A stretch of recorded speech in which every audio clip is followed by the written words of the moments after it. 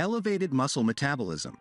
Research by Professor Marc Hamilton of the University of Houston has shown that when the soleus muscle is activated correctly through the soleus push-up, it can raise the local oxidative metabolism to high levels for hours, even while sitting.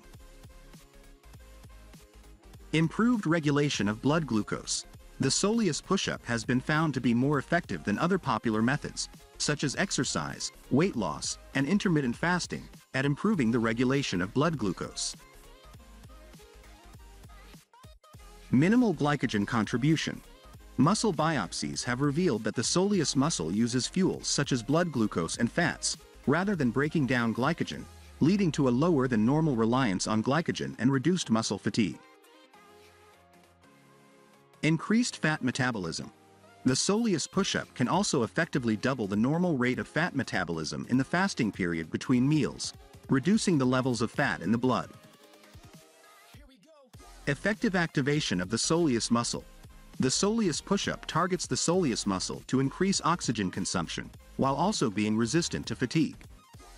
The aim is to activate the soleus while simultaneously shortening the calf muscle.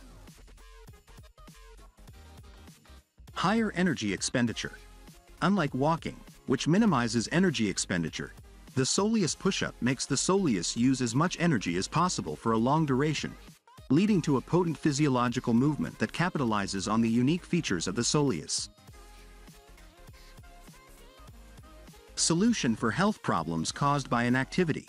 The discovery of the soleus push-up could be a solution to various health problems caused by spending hours each day with low muscle metabolism due to inactivity. Increased whole body oxidative metabolism. The soleus push-up has been found to be capable of raising the metabolic rate of the soleus muscle during contractions to double or even triple the whole body carbohydrate oxidation.